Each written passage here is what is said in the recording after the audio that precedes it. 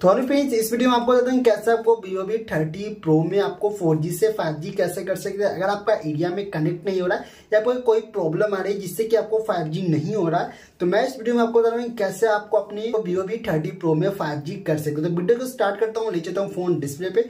तो चैनल पर आप लोग पहली बार चैनल को सब्सक्राइब कर लीजिएगा नोटिफिकेशन कॉल पे ज़रूर किया जिससे कि आपको इससे कोई भी प्रॉब्लम आई या फिर टिप्स एंड ट्रिक वाली वीडियोस आई तो मैं आपको वीडियोस बना के मैं अपने यूट्यूब चैनल पर प्रोवाइड कर दूँगा। आप देख सकते फ़िलहाल ले चलता हूँ फ़ोन। देख लीजिए, मेरे में फोर जी कनेक्टेड है तो आपको फाइव जी कैसे करना है, मैं आपको स्टेप बाय स्टेप आपको बताता हूँ। तो सिंपली आपको क्या करना है, ऊपर से भी सेटिंग्स ओपन कर सकते हैं, या फिर आपको यहाँ पे सेटिंग्स वाले एप्लीकेशन देखना है तो उससे भी आप सेटिंग्स ओपन कर लीजिएगा। ओपन करने के बाद यहाँ पे बहुत सारे ऑप्शन देखने के लिए मिलेंगे। तो सिंपली आपको यहाँ पे सेकंड में ऑप्शन दिख रहा है, और नेटवर्क और इंटरनेट करके देख लीजिए नेटवर्क और इंटरनेट तो सिंपली नेटवर्क और इंटरनेट पर क्या करना है क्लिक कर दो। चलिए मैं क्लिक करता हूँ। क्लिक करने के बाद यहाँ पे भी आपको बहुत सारे ऑप्शन देखने के लिए मिलेगा। तो सिंपली आपको नीचे आइएगा नीचे आने के बाद यहाँ पे दो सेकंड में आपको यहाँ पे सिम कार्ड मोबाइल नेटवर्क दिख रहा होगा।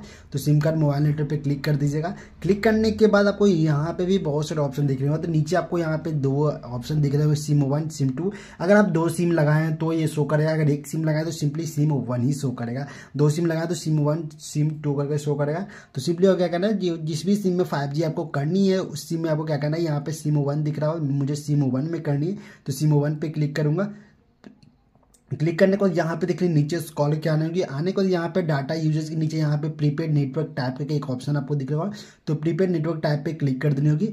प्रीपेड नेटवर्क टाइप पे क्लिक करने के बाद यहाँ पे देखिए फोर जी फाइव जी जो कि मेरा जियो का सिम है। अगर एयरटेल का आपका सिम रहेगा तो एयरटेल में बहुत सारे ऑप्शन आ जाएगा two G three G four G five G आ जाएगा। लेकिन जियो सिर्फ़ फाइव जी फोर जी से स्टार्ट हुआ था, इसलिए फोर जी फाइव जी यहाँ पे देगा। जियो का हुआ, दो ऑप्शन देगा। तो सिंपली करना है फाइव जी पे क्लिक करना है। फाइव जी पे क्लिक करने के बाद यहाँ पे देख लीजिए फाइव जी मोड भी यहाँ पे एक ऑप्शन इनेबल हो जाएगा। और ऊपर में देख लीजिए मेरा फाइव जी वो कनेक्ट हो गया। देख लेते फाइव जी कनेक्ट हो गया।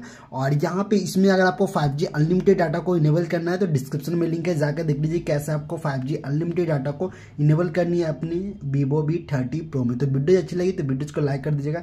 चैनल पर आए, पहली बार आए चैनल को सब्सक्राइब कर नोटिफिकेशन को ऑल पर ज़रूर कर दीजिए।